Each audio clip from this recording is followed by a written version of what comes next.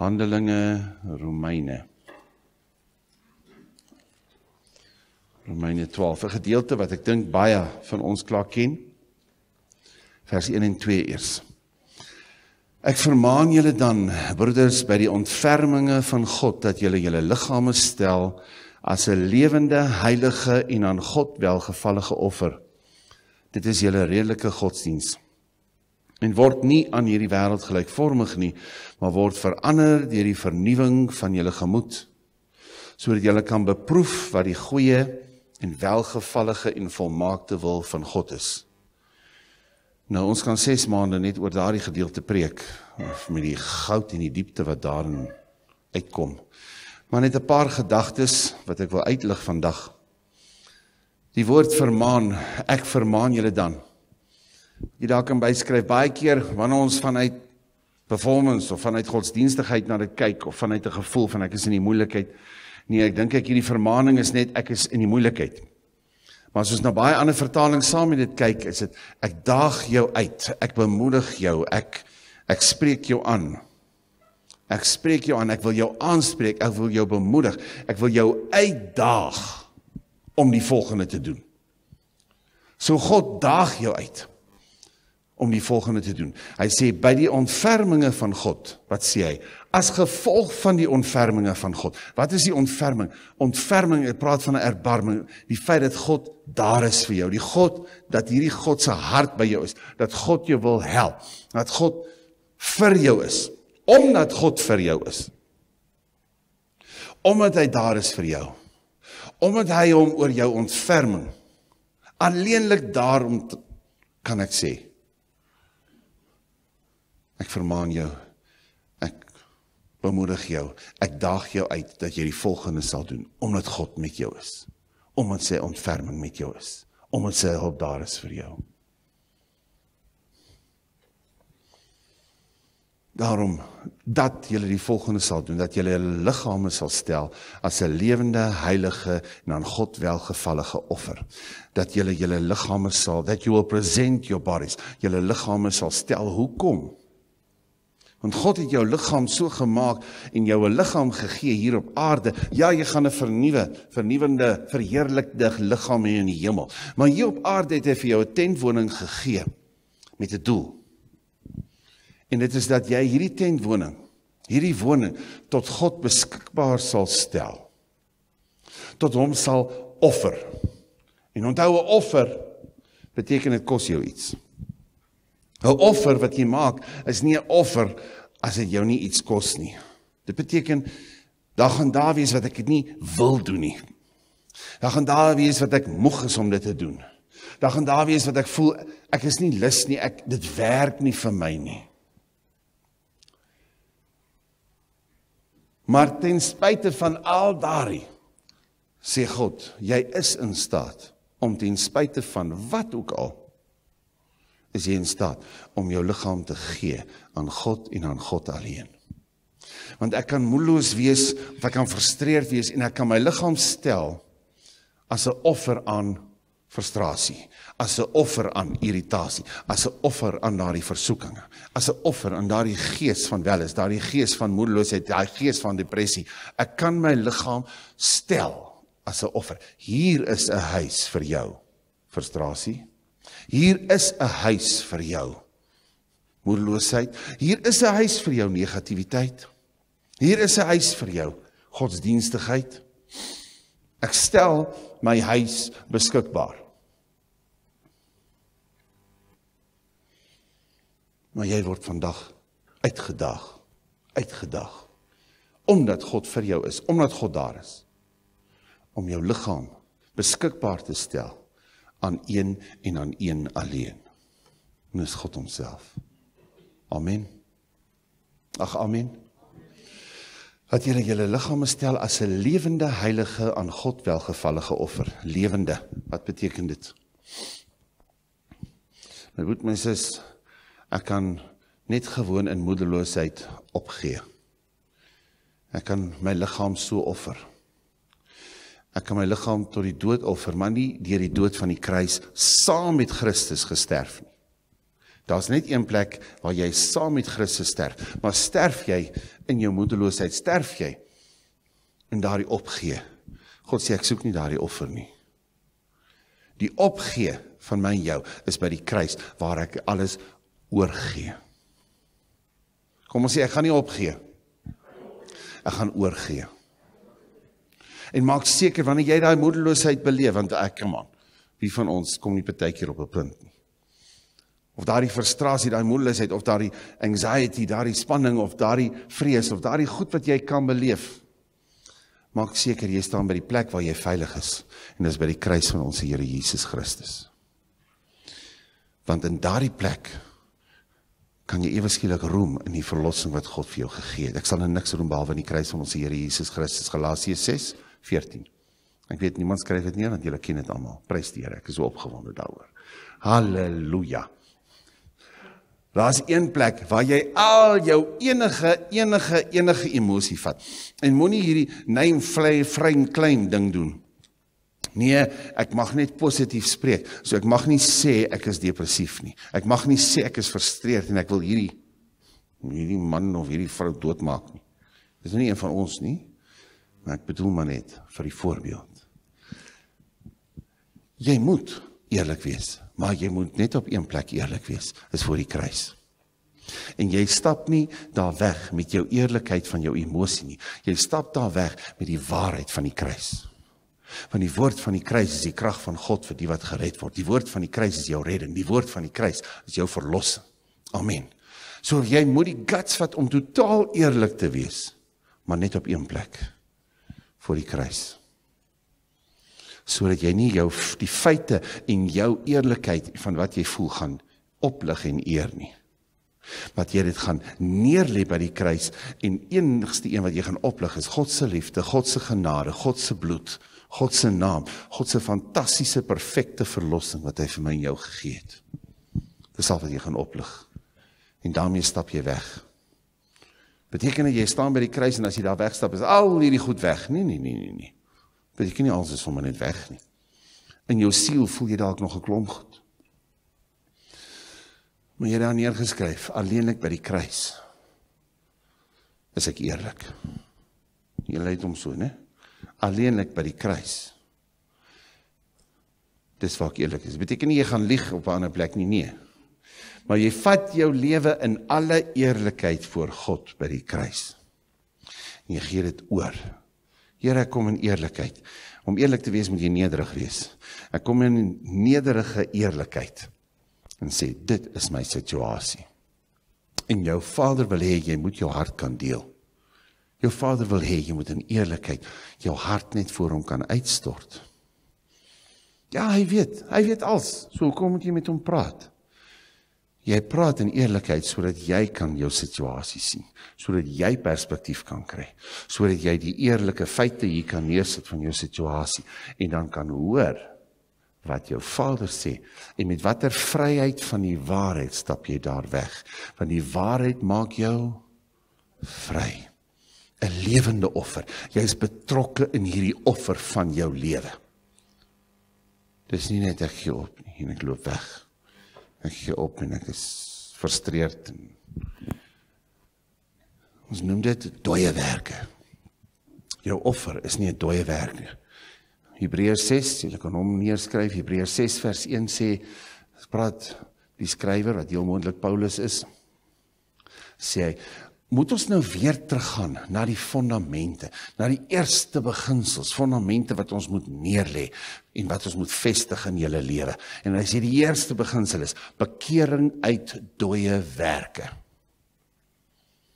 En daai dooie werke is selfs ek ek probeer iets doen vir die Here. Maar daar die dood is in dit. Wie dal daai kommitment gemaak teenoor die Here, maar maar jy en dan doen jy 'n ding maar niks gebeur. Dit was nie 'n lewende offer nie. Van die dooie werke is goeie idees, maar dit was nie God se idee nie. Wanneer jy jouself offer, laat dit wees soos wat God sê. Laat dit wees God sê op hierdie berg. God sê vat die hout. God sê vat jou seun. God sê stop. Nou weet ek dat jy my liefhet. Maar kom jy met godsdienstigheid en 'n dooie offer, gaan jy nie hoor wanneer God sê, "Stop, moenie Isak doodmaak nie." Maar jy gaan Isak doodmaak in die naam van die Here met 'n dooie offer. Gaan jy Isak doodmaak en die duiwel is nie eens betrokke nie. Dis nie wat God vir jou het nie. Maar lewende offer is hoe jy jou lewe gee. God is so betrokke daarmee. God se lewe wat in jou is. En dan word hierdie lewende offer eintlik 'n worship. I surrender all. Wat is daai ene wat Billy Graham I surrender all all to thee my blessed savior. Dis hierdie lewende offer.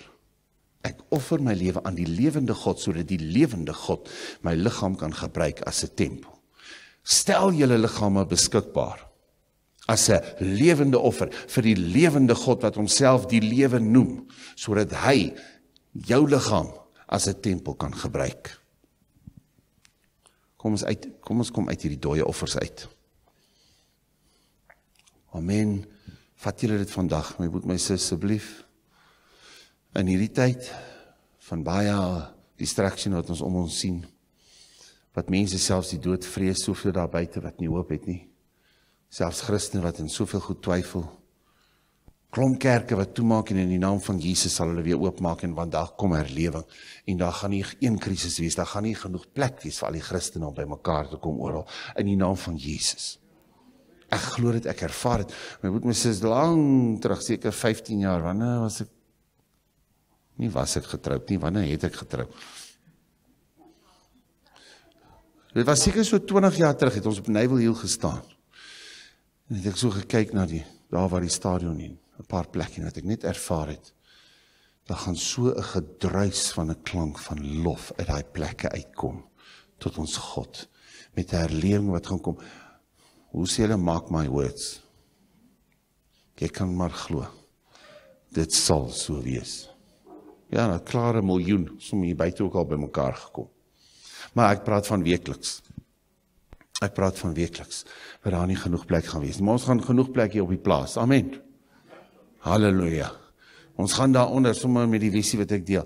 Daaronder as jy nou daar van die kruise afgaan en daaronder is 'n dammetjie, né? Almal weet van daai dammetjie. Net so eengie terug van die dammetjie. Gaan ons daar 'n plaashuis bou wat ons mag bou. Die Here gaan ons help. Gaan ons 'n plaashuis, 'n Makulu plaashuis. Die huis gaan basies so groot soos hierdie saal wees. Moet nou nie soos 'n Sarah lag nie. Die huis is so groot as hierdie saal, so 12 slaapkamer ons suite. En 'n verskriklike groot oop plan vir dinge wat in die toekoms ook gaan gebeur. Gaan gebeur, maar op die dak wil ons 'n dek hê. En met daardie dek gaan daar kan dansers wees, daar gaan twee drie kore wees, daar gaan hallo. En van daardie plek gaan dit die stage wees en dan 'n oop amfitheater hier op na die kruise toe. Wat ons uitgewerk het, maklik kan daar omtrent 'n miljoen sit. Halleluja. Die Here gaan ons dan met daai ding gaan gebeur.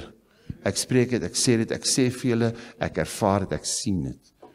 God gaan ons help. En hy gaan 'n lof hier uit bars. Amen. Ah, sy man. 'n Lewende offer. Maak seker die lewe van God is in hoe jy jouself offer aan God. Want anders is dit die dooie godsdiens wat net vervloeking en distraction in jou gaan bring. 'n Lewende Heilige, wat beteken heilig? Eenkant gesit. Heilig beteken ek vat 'n posisie. Ek het die lewe in my, ek gee dit vir God, maar waar posisioneer ek myself? Ek offer myself met God se lewe, maar op 'n plek waar God my nie geroep het om te wees nie. What a waste. Maak seker jy is daar waar God jou geplaas het. Maar my boet my sis, as jy nou wonder of jy op die regte plek is, begin jou lewe regtig gee. As jy in 'n verkeerde plek is by 'n verkeerde werk company. En dis nie waar God jou wil hê nie. Begin net voluit oor Jesus praat. Begin bid vir mense, gee profetiese woorde vir mense, gee 'n woord van bemoediging. En of die Here gaan jou daar oplig en jy weet, dis waar God my wil hê. Of hulle gaan sê, dankie man, nee, dankie. Jy mag jy wees maar jy mag niks van Jesus sê nie, dan het jy jou bevestiging. Dis tyd om te gaan. So dis nie net gaan bid in die hoekie oor is ek nou op die regte plek is nie op die regte plek nie. Ja, jy moet alles voor God bring. Hallo, lewende offer. Maar daar waar jy nou is, offer jou lewe met God se lewe en laat God se lewe uit jou mond uitkom. Dit hulle mense weet wat se lewe is daar in Christus Jesus. Bemoedig mense. Hallo. By die stadsraad gewerk vir 'n jaar en 'n half, na 2 jaar weermag voordat ek tweede jaar Bybelskool kom doen het wat die Here gesê het 18 maande. So skrif gekry. Paulus was daar vir 18 maande. Reg hier. Om my skuld af te werk, mediese beerskuld, et cetera, et cetera. En uh maar ek het besluit toe ek nou by die stadsraad begin begin werk by parke en ontspanning. Ek het daar gesien hoekom noem hulle dit ontspanning. Gaan ontspan in die park. Halleluja. Maar geen oordeel in Jesus naam. Wat wou ek nou eintlik sê? Wel. Ek het besluit hier lei ek mense nou na die Here toe. Dis dit. En op die ou en my baas na die Here toe gelei en En toe ek nou doen ek die werk en dan hier so 10 uur dan is ek nou klaar. En dan wag ek vir 3 uur, 4 uur wanneer die manne nou weer inkom. Toe ek vir hom sê, "Ag, kan ek maar my Bybelskool vakke hier doen?" As al my werk klaar is. Sê as al jou werk klaar is en ek het gecheck het, dan kan jy. Ek het al my eerste jaar Bybelskool vakke by die stadsraad klaar gemaak. Ek het al my werk gedoen. Wat online? Op die ou my baas na die Here toe gelei, 'n paar ouens na die Here toe gelei. Ek en 'n uh, soeto man as die as die klomp ouens, klomp ouens aantrek in die oggend hulle overalls en wat ook al, dan staan ons daar so op een stoel en 'n tafel en uh, hy preek en ek sing 'n paar soeto liedjies en uh, met die gitaar en ons sê die evangelie. Hallo. Later Bybelstudie gehad met my baas en sy baas en sy baas en 'n paar ander. En uh toe dat ek daar weg is, sommer so lekker tyd gereël en ek het die hele spul of hulle nou gered is of nie, dat ons so twee of drie liedjies saam sing.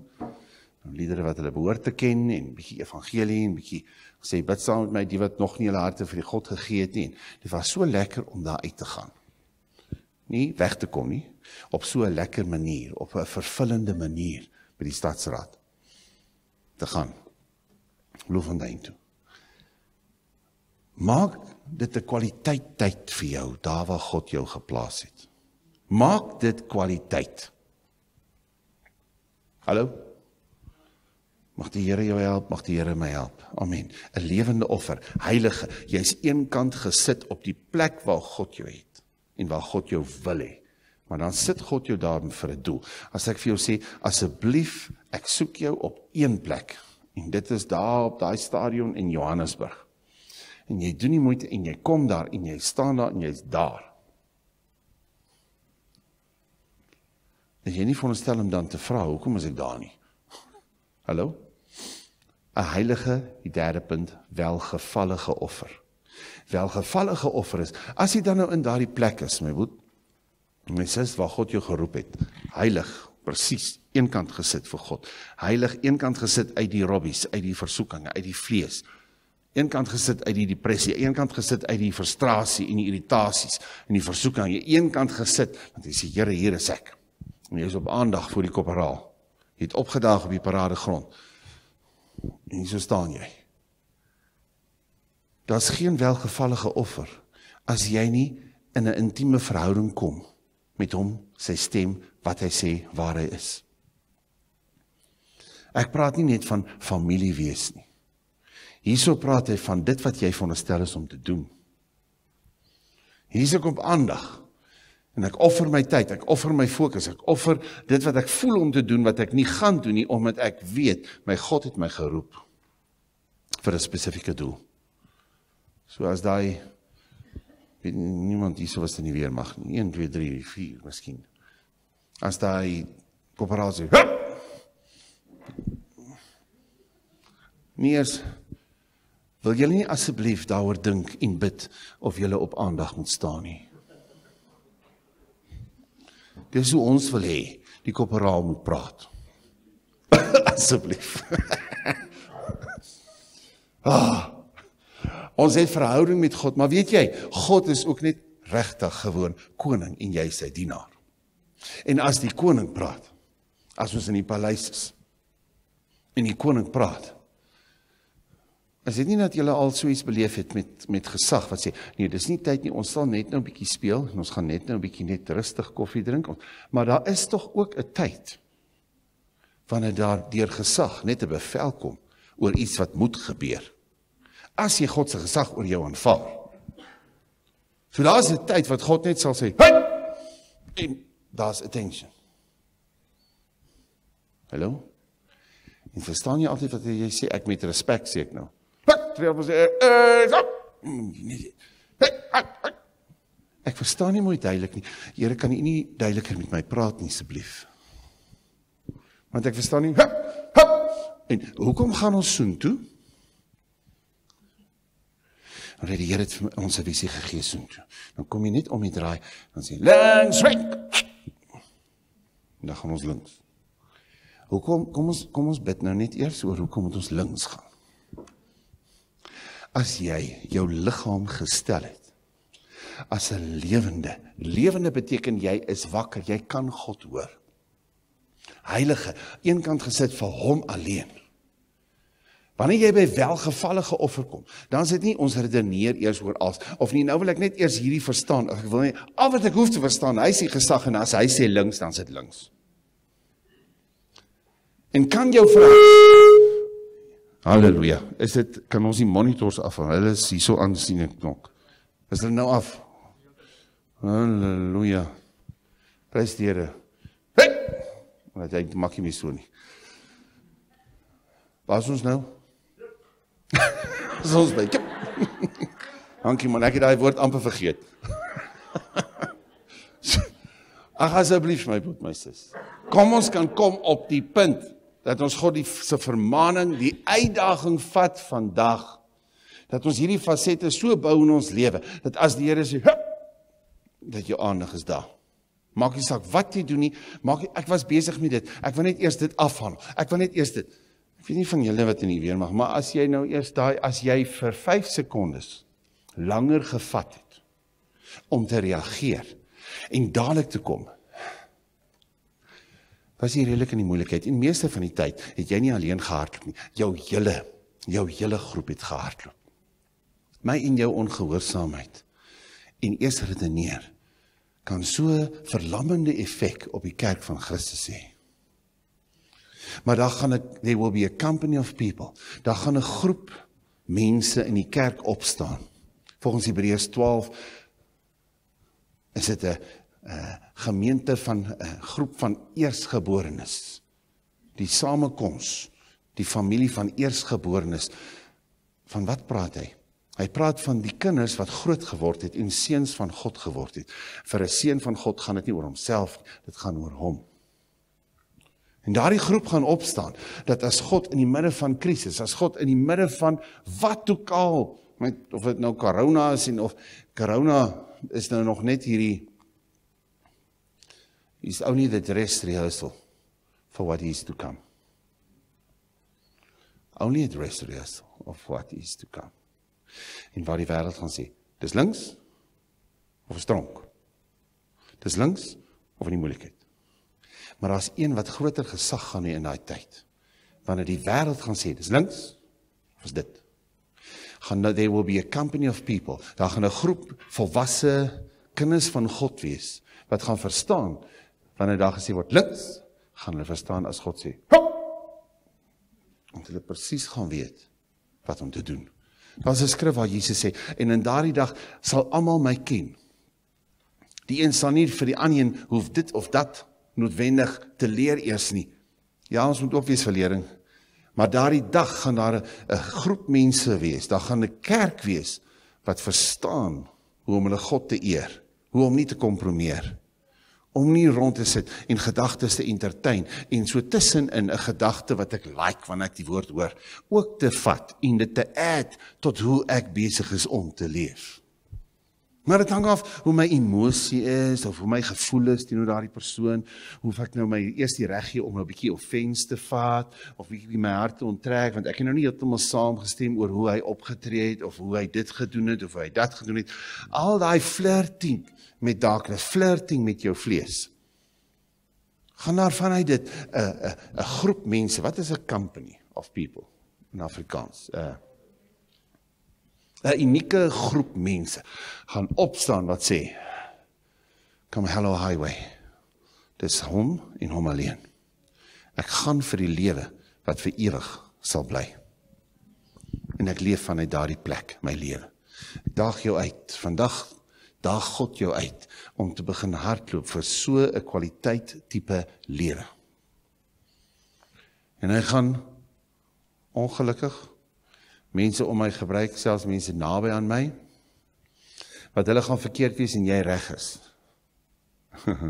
nee, glad toe nou nie.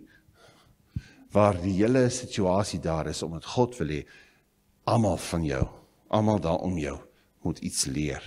Net om te leer? Nee, om na 'n ne next level te gaan want God wil jou saamvat. God wil saam met jou doen. Dit wat hy gaan doen al hoe meer in die eindtyd, wil hy saam met jou doen. Wil nie jy moet nou rond staan hierdie is die 666 en hierdie is dit en hierdie is dit en hierdie is dit. In die midde van wat gebeur? Die grootste ding wat God in dit begeer is dit wat hy gaan doen. With the biggest revival met die grootste openbaring van wow wow wow wat die kontinente, die eilande, die nasies geskit gaan word.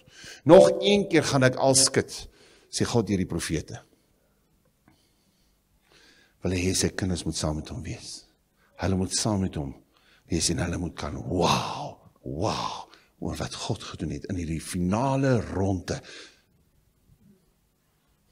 op hierdie bestaan van hemel en aarde soos wat ons hom nou het. Met daai final round so God al sy kinders saam met hom om saam te hardloop om daai baan. Nee, maar moet my sis. Ons gaan in daardie seisoen in. Ons gaan in daardie seisoen in. Ek weet in elke generasie het mense gesê dis nou die eindtyd. So ek kan sê nie maar dit is nou die eindtyd. Wat ek sê is die kerk sal die tye verstaan. Nie die dag nie, maar hulle sal die seisoene kan lees. Die skrif sê so. En mag God ons help dat ons dit reg verstaan. Maar dalk kom dit nie in jou tyd nie dalk kom dit in jou kinders se tyd, maar dat jy so geleef het dat jou kinders weet hoe om met respek wagtend hulle self te kan gee as 'n lewende, heilige, welgevallige offer wat eer aan God bring. Welgevallig dat in die offer van jou lewe, jy doen dit saam met jou God hart tot hart koneksie. Dis 'n hart wat by God is. Dis jou hart by hom en jy kan sien sy hart by jou en dat julle saam vanuit daai intieme verhouding die ewige lewe kan beleef want dit is die ewige lewe dat hulle u ken en die een wat u gestuur het. Johannes 17 vers 3, né? Het hom neergeskryf as jy hom nog nie ken nie.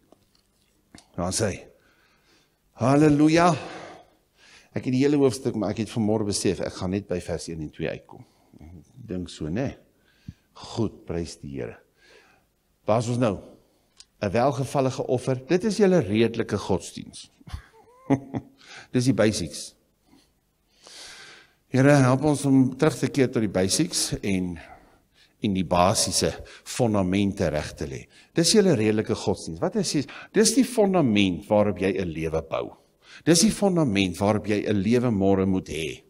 Dis veronderstel om te wees die fondament waarop ons nou môre. Maar as ons so die hele tyd besig is met die fondament en dit is vir my 'n stryd om hierdie fondament te lê en dit is so moeilik in die lewe is maar 'n stryd want al wat jy doen jy kom nooit by die huis uit nie. By dit wat God wil doen hoe hy daar waar jy beweeg wil vul en sy koninkryk wil vestig. Want ek het so stryd om fondamente te lê in my lewe. Dat ek kom nooit verder nie. En dan sit hierdie kraak dan moet ek dit weer oordoen. Dan is dit hierdie goed, dan is dit verkeerde grond, dan het hierdie gebeur, dan het daardie gebeur, dan het ek het, dan was ek impatient en ek het nie genoeg tyd laat lê nie en hier trap ek oor al ag. Dis mos nie die lewe wat die Here vir my en jou het nie. So kom ons skep nie ons eie lewe op so 'n manier nie. Wie is jou redelike godsdiens? As jy hierdie fondament lê en ons sê nee, nee die Here sê dis nou die fondamente. Kom ons beweeg verder. Dan sê hy, as jy dan nou daar buite kyk, moenie soos hulle dink nie. Jy moet kan weet jy dink nie soos die wêreld nie. As jy dieselfde dink as daai ou in die wêreld. As jy dieselfde dink as daai model, as jy dieselfde dink as daai daai ingenieur, selfde dink as daai sanger, selfde ding en jy kan dan moet jy weet ietsie is bietjie fout.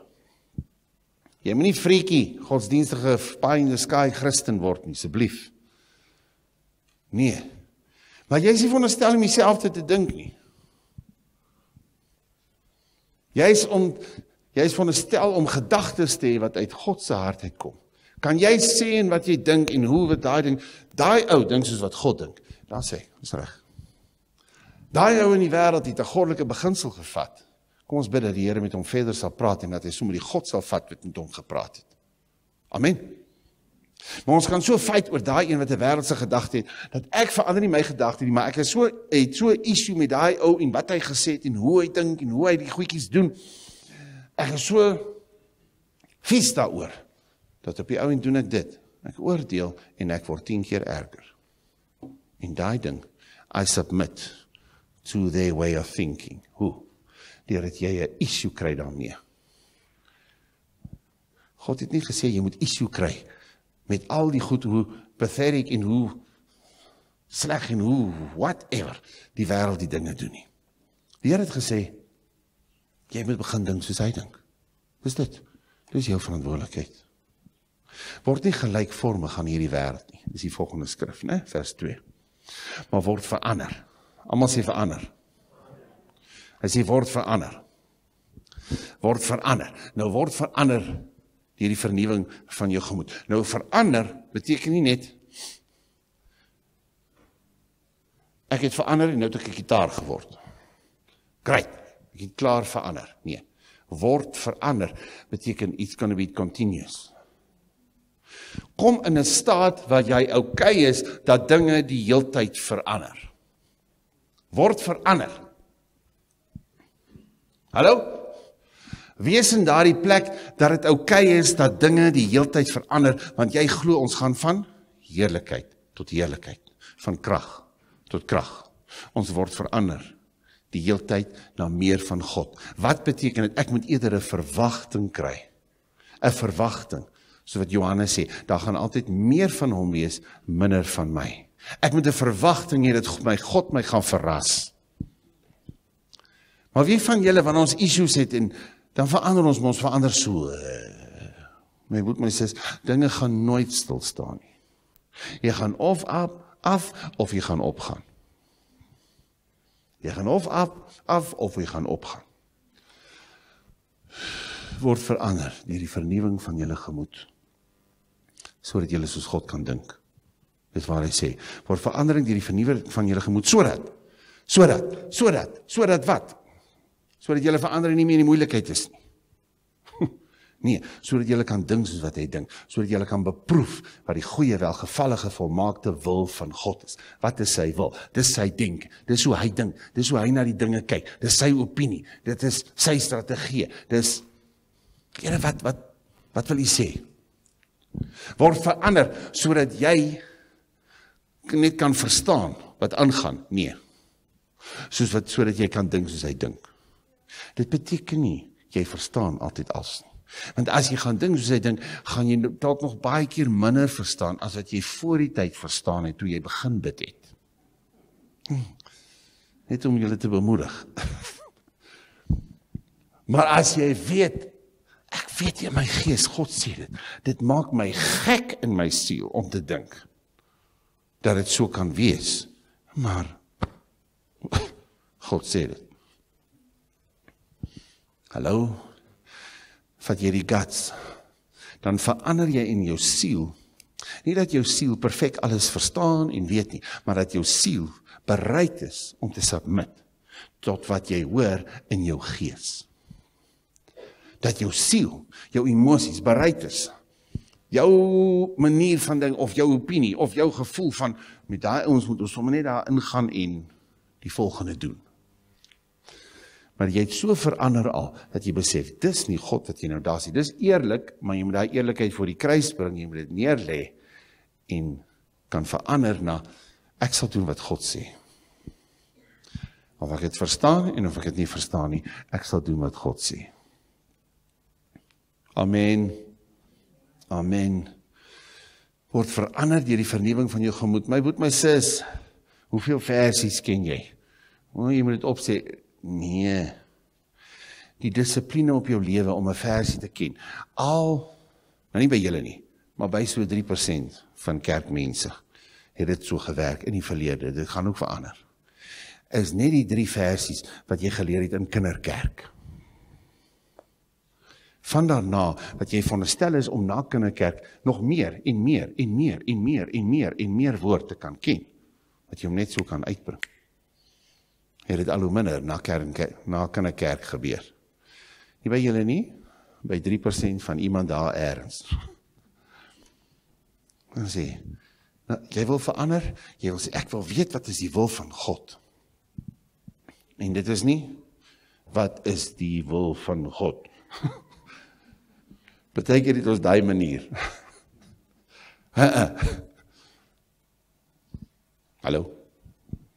Maar my boet my sis, as jy wil weet wat God doen, as jy wil weet die orde in die hemele, as jy wil weet die strategie van God, as jy wil weet die hemelse planne oor jou lewe, want daar's die hemelse planne. Daar's die hemelse strategie. Daar's strategieë en planne oor jou lewe waaroor die hemel excited is. Die probleem is hierdie om so te verander, né? Nee? Te verander. Almal maak so, verander. Iemand sê dit met 'n attitude. 1 2 3. Verander. Kom my broer. 1 2 3. Verander. OK. So kyk jouself in die spieël en dan besluit jy. Wat se dink jy? As jy kan reageer, as jou lyf, as jou liggaam, as jou siel kan begin positief reageer op die woord, dan weet jy. Jou gemoed dink nie soos wat die wêreld dink nie. Maar jou gemoed, hy vry lekker saam in die wêreld as jy die woord kan hoor, maar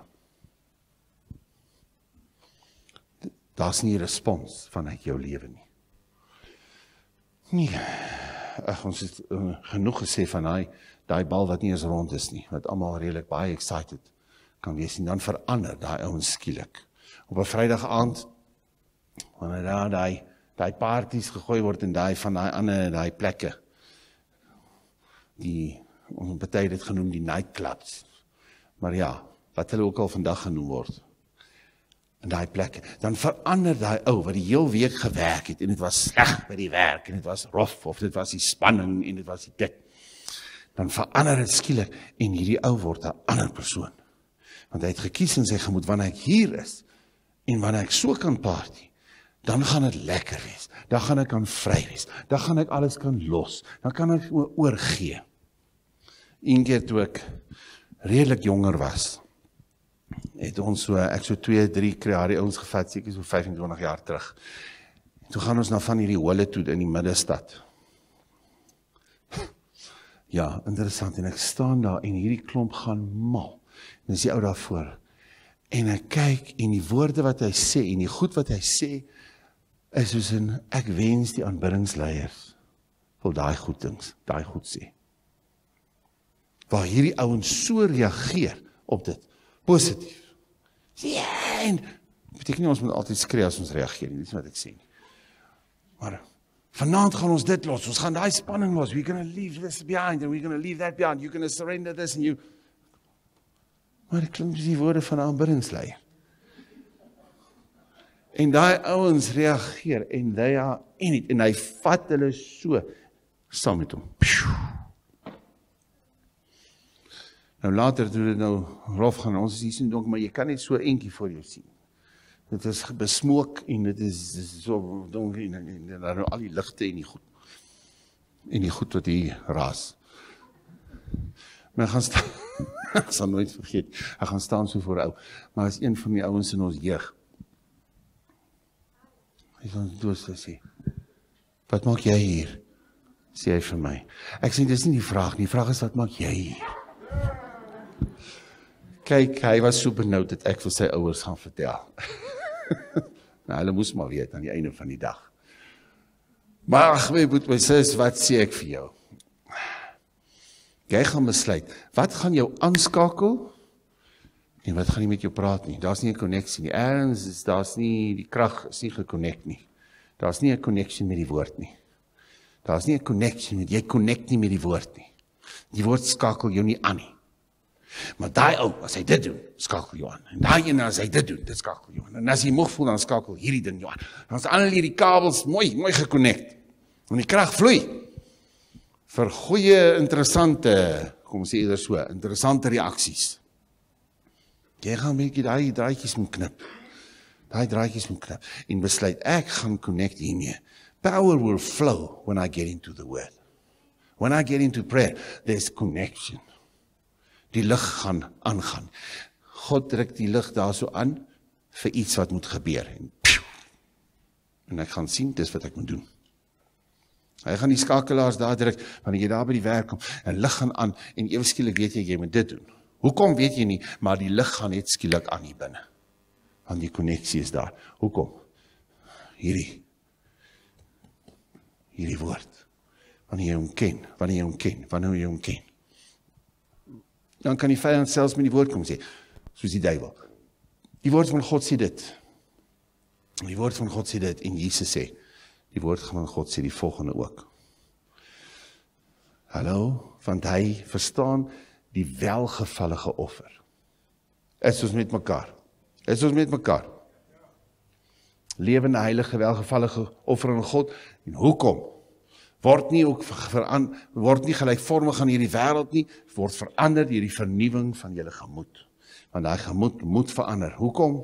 Sodat almal sê sodat jy kan beproef. Wat beteken daai beproef? My moet my sis, dit beteken nie jy gaan net outomaties altyd weet wat die Here sê nie.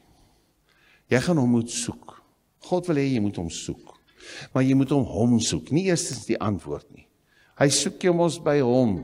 Hallo. Nou gaan hy aspres baie keer dat jy sekere goed nie verstaan nie.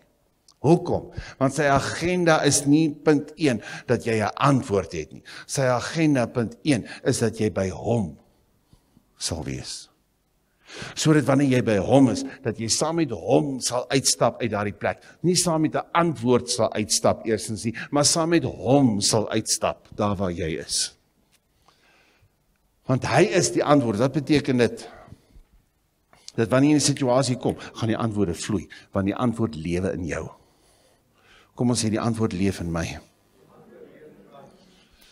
Hy leef in jou my boet my sis. Maar as jy nie kan connect nie, as jy nie jou gemoed gaan vernuwe nie, as jy nie connect met daai woord nie, dan kan die antwoord daar wees die lig is hier, die skakelaar, die die die kabel, alles is in hierdie plek. Maar as jy nie seker maak dat die koneksie van daai skakelaar en daai lig is in plek nie. Wat 'n belaglike situasie vir die saal waar daar nog geen lig is, geen koneksie, geen krag tot dit, geen skakeler, niks niks niks nie. Dis alright. Niemand eers hoef eers iets te sê nie. Dis logies dat die lig nie gaan aangaan nie. Maar hoe geklik as die saal daar is, alles is daar. Jy moet net jy moet net seker maak daai kabel en daai lig is gekonnekt. Dis al. Dis ek en jy. Jy het die lig. Die antwoord leef in jou. Maar as jy nie connect nie, gaan die skakelaar nooit aangaan nie. Gaan jy nie weet nie. En jy kan loop met antwoorde en dan as jy frustreerd, dan soek jy nog 'n antwoord. Jy frustreerd, jy soek nog 'n antwoord. Frustreerd. Ja, ons soek antwoorde en dit moet so wees. Dit moet so wees dat jy antwoorde soek. Dit moet so wees dat jy baie antwoorde nie het nie. God organise dit dat jy daai antwoorde nie weet nie. Want hy sê jaloerse God. Tweede gebod. 'n Jaloerse God vir jou aandag. Hy het jou gemaak, hy het alles gegee vir jou aandag. Alles gegee sodat jy saam met hom 'n verhouding het. Alles gegee sodat jy op hom sal fokus. Alles gegee sodat jou hart by hom is, dat jy sensitief is vir wat hy sê en wat hy wil doen. Gaan soek jou God. Gaan soek jou Vader gaan wees by jou koning, jou beste vriend. Wees oop vir die helper, die ondersteuner, die bemoediger, die Heilige Gees. Jou liggaam, 'n tempel net van die Heilige Gees, not 'n spatterkamp vir enige liewe ding nie. Hallo. No land grab. Don't do the land grab. Dat jou vlees die land sommer net vat nie. Hierdie land wat sommer net gevat kan word. Maar jy het nie jou gekoop nie. Hy het jou gekoop. Hierdie land behoort nie aan jou nie. Don't do a land grab. En ons 'n vinger wys of dit of dat of dat. Nee, dit gaan nie gebeur nie in Jesus naam. Maar ek sê net net die gedagte daaraan. Vat net die vinger. Hoe het hulle hoe Salomo gesê vier wys terug na jou. Maar is nie die waarheid nie, dis net 3. Het julle al gesien, né? Die duimwerkingwerk mos duim kan nie so ook so is. Ag, dis sommer net 'n eie openbaring. Gratis. Goed. Waar is ons nou? So jy kan beproef. Kom ons sê beproef. My vlees sien dit net as 'n beproewing. Dis 'n beproewing. Jakobus 1, né? Ag, dit louter vreugde as jy in allerlei beproewinge val. Ons vreugde want ons het 'n deurbraak. Hey, prys die Here, ek het die deurbraak wat ook al. Hoe gaan dit met jou? Man, dit is 'n vreugde want ek is in 'n beproewing. Wat 'n vreugde. Daar's 'n klomp versoekinge wat na my toe kom. Dink jy's freaky. Wat 'n freakigheid is dit? Ja, dis daai freakigheid van wat Jakobus gesê het. Wat ons moet hê. Blydskap van die Here is jou krag. Jou vreugde, jou vervulling, jou vergenoegdheid. Niemand kan dit steel. Niemand kan dit steel. As jy vas is in die woord en die koneksie met die woord is daar. Hy's daar. Niemand kan dit van jou steel nie. Ek begin eers ek sê eers die Here help my. Ja, God gaan dit doen. Amen. Sodat jy kan beproef wat die goeie. Ons eindig met daai 3. Goeie wel gevallige volmaakte wil van God. Goeie wil is wat jy baie keer dink na so 'n halfuur. Dis nou 'n goeie plek pastoor om te stop. Maar dis nou nie die welgevallige nie. Ek wil net daarin net mooi vestig as 'n fondament. So, waar gaan ons heen? Iemand het gelukkig agter 'n masker gepraat. Goed die goeie wil van God. My broer, my sis, goeie werke. Wat is hierdie? Dis die goeie boodskap. Dis die goeie nuus, the good news, the good news. Wat is die goeie wil van God? Dit is goed om dit te doen. Dit is goed om dat te doen. Dit is goed om nie te lieg nie. Dis dis dis klaar. Dis die goeie wil van God. Wat is die goeie wil van God? Hou op om 'n issue te hê met almal. Wat is die goeie wil van God? Loop met integriteit, loop met, met vrymoedigheid, maar in die Here. Wat is die goeie wil van God? Vergewe man en leef en doen wat jy doen alles asof vir die Here en en die die essensie van die goeie wil van God. Jy gaan die Here jou God lief hê, jou naaste soos wat jy jouself liefhet. Soos wat jy jou liefhet, net so kan jy ander lief hê. Jy kan nie op 'n ander manier nie. As jy jouself liefhet, kan jy iemand langs jou lief hê. As jy jouself nie liefhet nie, jy kan nie jou met die persoon langs jou met God se liefde lief hê nie. Selfde beginsel. Ah ja, kom ons loop op die punt. God, die goeie wil van God. At least leer ken die goeie wil van God. Dis die basis. As jy nie die goeie wil van God ken nie, maar jy wil al die ander goedjies weet. Nie dit, dit werk toe nou nie. Graad 1 kom voor graad 2. Onthou dit. As jou vrou môre iets sê, dan sê jy net vir graad 1 kom voor graad 2. Dan sien jy hoe gaan jy na sub A toe. nee, nee my moet my sis wat sê ek? Asseblief, ek daag jou uit, leer ken die goeie wil van God. Amen. Lê daardie fondament sodat jy kan beproef wat is die welgevallige. Welgevallig is.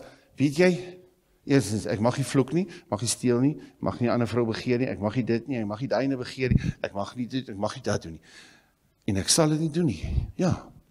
Nie omdat ek moet nie, ek sal dit nie doen nie.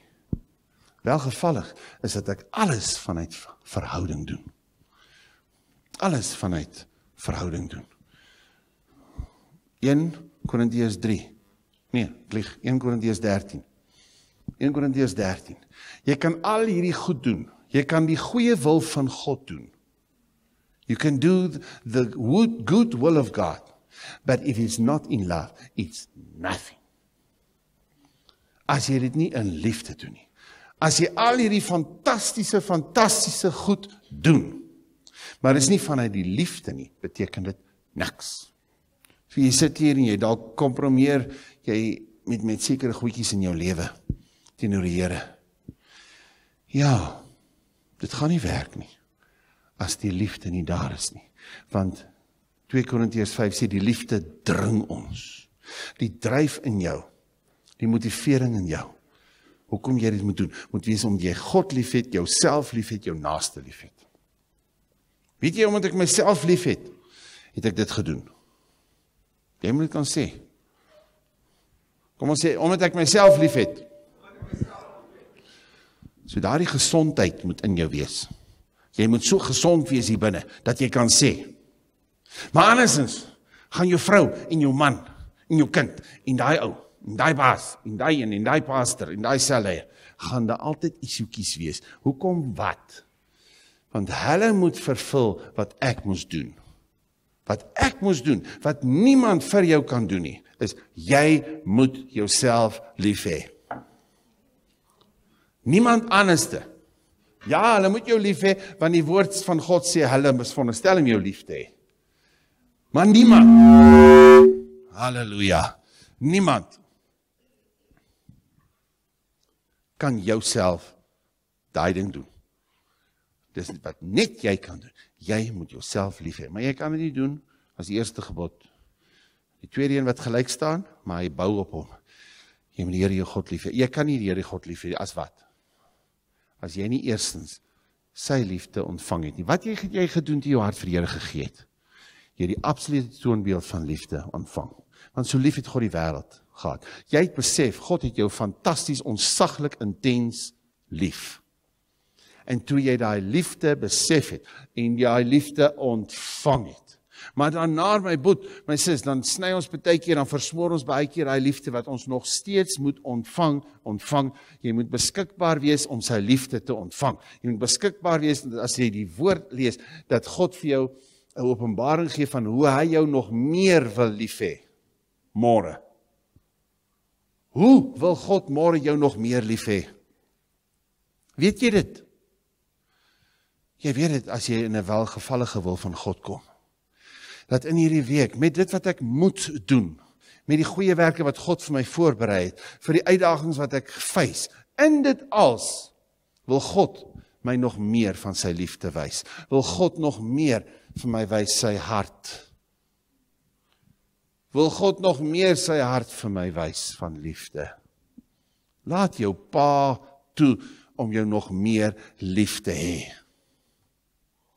Kom ons sê ek gaan my pa toelaat om my nog meer lief te hê. Dis jou Vader God. Ja, weet, dalk sê jy dit nie nou nie want jy's jy vrees jy's ongemaklik met liefde. Jy het seer gekry deur liefde, jy's teleurgestel deur liefde. God gaan jou genees. Jy sit hier, maar God gaan dit doen. Ek bid dit vir jou. Ek spreek dit oor jou lewe. Dit gaan gebeur. In Jesus naam. OK, ons is by die goeie, die welgevallige, die laaste een, die volmaakte wil van God as my gemoed nie vernuwe is nie en ek die goeie wil nie ken nie en die welgevallige wil van God om alles vanuit hart tot hart koneksie met God. En ek hardloop nie in dit nie. My boet my sis in godsdienstigheid gaan jy net fokus. Ek is veronderstel om al so te doen. Ek is veronderstel om als reg te doen. Ek gaan net fokus en ek sien hoe volmaak ek veronderstel is om te wees. Hoe ek veronderstel is om hierdie ding reg te doen en ek maak dit nie. Ek het 'n 2 uit 10 oor my lewe. Ek het nie 'n 10 uit 10 oor my lewe nie. Ek het nie eers 'n 8 uit 10 never mind 'n 4 uit 10 ek het dit nie. Hoekom Want jy karring hier by dit wat in jou kop volmaakte wil veronderstel is om te wees. Maar jy het geen fondamente gelê van hierdie fantastiese lewensverhouding van liefde met jou God waar die genade oor jou uitgestort is vir die oomblik wanneer dinge nie reg loop nie. Hallo. Want in die volmaakte wil van God, waar is jy? Die openbaring is so onsaglik sterk in jou oor alleenlik deur die bloed van Jesus is ek volmaak. Alleenlik deur die bloed van Jesus en die kruis van Christus. Die woord van die kruis is die krag van God vir die wat gered word. Ek staan in die volmaakte wil van God en wat doen ek? Ek breek oor die kruis van ons Here Jesus Christus. Daai man wat in die volmaakte wil van God is, het so 'n breek in hom. Het so 'n skokkende bewustheid van God se genade oor hom So 'n bewustheid van die bloed van Jesus en dat alleenlik deur die bloed van Jesus jy kan weet wie jy is. Dit is volmaaktheid. Dis 'n man en 'n vrou wat weet dat sonder God is ek niks. Volmaakte wil van God dat ek hoef nie probeer om iets te wees nie. Ek hoef nie te probeer om volmaak te wees. Ek hoef nie iets te probeer om aanvaarbaar te wees nie. Ek hoef nie te probeer om geliefd te wees nie. Maar daardie goed kom in my op. En daardie goed skree op my wanneer ek nie myself kan gee as 'n lewende heilige welgevallige offer en verander word in die vernuwing van my gemoed deur die woord sodat ek die goedheid van God kan sien, die goedheid van God kan sien. Hallo. En hierdie hart tot hart verhouding met God kry van genade en liefde. Waar jy nie bang is om daai liefde te vat van God nie. Vat die guts dat God jou kan lief hê. Vat die guts om sy liefde vir jou te vat. Wat die vrees uitdryf. Dat daar geen vrees is. Doen ek dit reg? Doen ek dit nie reg nie? Is ek nou perfek? Is ek is ek nou in die moeilikheid of is ek nou nie in die moeilikheid? Is ek is ek op die regte plek? Dat daai vrese jou nie meer kan beheer nie. Maar die liefde dring en die openbaring van die bloed bring jou op die punt dat wat Wie is hierdie ouens wat oorwin? Openbaring 12 vers 11. En hulle het oorwin. Hulle het in God se volmaakte wil begin stap. Amen. Hulle het in God se volmaakte wil begin stap deur die bloed van die lam. En hulle het oorwin deur die bloed van die lam deur die bloed van die lam. En as gevolg van die bloed van die lam het hulle in hierdie volmaakte wil begin stap. En die woord van hulle getuienis wat ek beroem niks anders te behalwe in die kruis van ons Here Jesus Christus. Die woord, the message of the cross, the power of God unto salvation. Die kruis en dis dit. Die kruis en dis dit. Hulle het oorwin deur die bloed van die lam. Here God, kom maak ons vry. Asseblief, Here. Ons kies as 'n groep vanmôre. Here, elkeen wat hierso sit, wat voel ons het teruggeval. Ons is nie by God nie. Here, elkeen wat vanmôre in eerlikheid hier, hier sit en weet niemand weet dit of ek dink niemand weet dit dalk nie. Maar wat weet, my hart is nie daar by God nie. Ek roep elkeen deur die Heilige Gees en Here, ek arresteer hulle gemoed om te sê by die ontferminge van God, by die feit dat God so oor jou waak, God so daar is vir jou, omdat God so daar is vir jou. Kom terug. Kom terug. Kom terug. Stel jou lewe beskikbaar. Dankie Here dat ons ons môre lewens van môre beskikbaar stel. As 'n lewende offer. Kom met u lewe, Here. U lewe in my hart in. Dankie Here dat U dit net doen asseblief. 'n Lewende Heilige, ek sit myself vir U alleen gebruik. Ek sal nie meer in die naam van Jesus dat frustrasie of opinies of wat ook al se kiek my gebruik nie, maar U alleen, Here. So sal dit wees. Ook as ons nou die nagmaal gebruik, Here. Ook as ons nou die nagmaal gebruik, Here. Dat deur die bloed van Jesus ons op daardie punt kan kom. Ek gee myself as 'n heilige lewende welgevallige offer. Vader, help my om hierdie fondamente nou te lê vir eens en vir altyd dat hierdie fondamente hier my redelike godsdienst sal wees, die fondamente sal wees van my lewe asseblief. En daarom kies ek vanmôre ek gaan connect met u woord. Here, ek gaan die koneksie bring tussen u woord en my gemoed. Ek gaan u denke begin kry, Here, want ek kies om te verander. 'n Lewenstyl van verandering te hê Nie nie dat ek versmoor word deur my eie opinies, versmoor word deur my omstandighede, versmoor word deur wat ander van my sê nie. Nie versmoor word deur die nonsens wat ek oor myself glo nie.